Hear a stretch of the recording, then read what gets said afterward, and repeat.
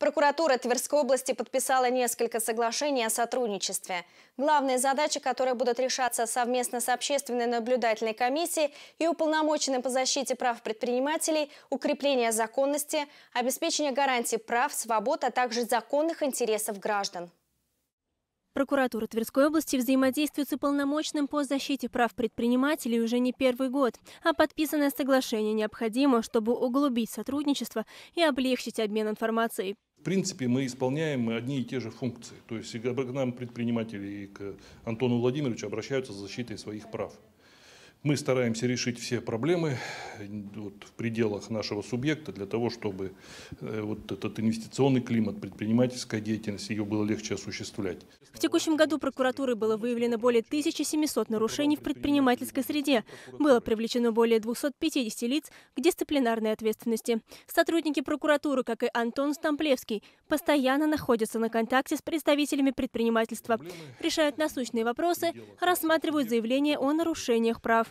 Каждый первый вторник каждого месяца в любой прокуратуре, межрайонной прокуратуре, э, муниципальном образовании Тверской области, в прокуратуре Тверской области, это специальный день для приема предпринимателей. И это говорит о том, что прокуратура стоит на страже интересов, э, законных интересов тверского бизнеса, но и те обращения, которые к нам поступают, они свидетельствуют о повышении доверия не только к органам прокуратуры, которые, безусловно, есть а в целом к институтам власти. Второе соглашение прокурор области Сергей Лежников подписал с председателем общественной наблюдательной комиссии Владимиром Поломарчуком.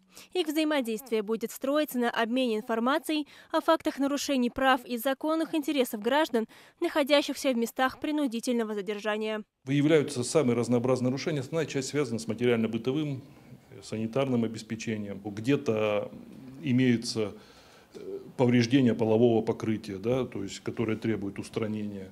Где-то в банях или там э, в прачечных недостаточно, по нашему мнению, оборудования.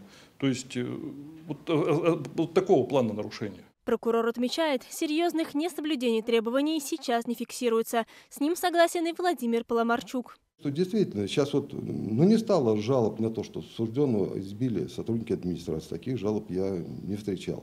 Перестали поступать жалобы, по сути дела, на кормление, на одежду, на питание. Таких жалоб нет. На санитарную, медицинскую помощь, оказание. Таких жалоб нет. Есть конкретные жалобы, ну, скажем, что осужденный где-то вступил в какой-то конфликт с представителем администрации, что-то где-то ему не додали, что-то ему... Такие жалобы. Мы их разрешаем опять с помощью прокуратуры.